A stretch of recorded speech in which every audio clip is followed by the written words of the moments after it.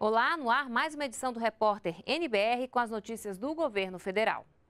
O presidente Michel Temer vai inaugurar daqui a pouco o novo aeroporto de Vitória, no Espírito Santo. O investimento é de quase 600 milhões de reais. A nova estrutura é mais ampla, mais moderna e com novo acesso. São seis pontes de embarque, um pátio para aeronaves com 67 mil metros quadrados e um terminal amplo. Em relação ao antigo aeroporto, o fluxo também vai praticamente triplicar. Vai saltar de 3 milhões de passageiros por ano para quase 8 milhões e meio. Entre as novidades também estão estruturas adaptadas para garantir acessibilidade às pessoas com deficiência física e áreas destinadas às compras. Índice de aprovação de mais de 90% nos aeroportos do país, 780 quilômetros de rodovias federais pavimentadas ou duplicadas e 23 contratos para a construção e exploração de terminais de portos brasileiros. Esse é o balanço das ações dos últimos dois anos do Ministério dos Transportes. Com índices de aprovação acima dos 90%, os aeroportos brasileiros ganharam um novo fôlego nos últimos dois anos. Quatro aeroportos foram concedidos à iniciativa privada. Outros 13 devem ser leiloados ainda este ano. A renegociação de contratos de concessão já existentes resultou no ingresso de 6 bilhões e 800 milhões de reais em outorga.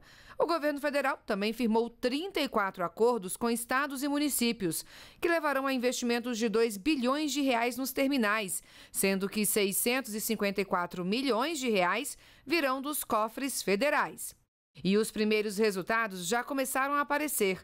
Em 2017, 112 milhões de passageiros usaram os aeroportos do país, um crescimento de mais de 2% em relação a 2016. Recebemos um, um setor em queda é, muito acentuada por conta da crise econômica é, e 18, foram 18 meses de quedas consecutivas.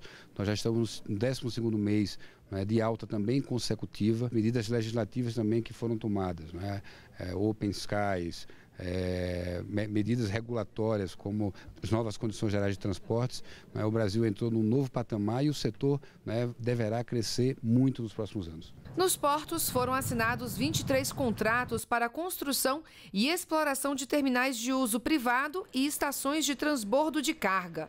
Outros 51 pedidos estão em análise. 780 quilômetros de rodovias federais foram pavimentadas ou duplicadas. O Ministério dos Transportes também garantiu contratos de manutenção para 91% da malha rodoviária nacional. Investimento que se traduziu na queda de 7,5% no número de acidentes e de quase 3% no número de mortos nas estradas do país. E na avaliação positiva de 88% das rodovias federais tempo perdido na estrada, não vai ter mais.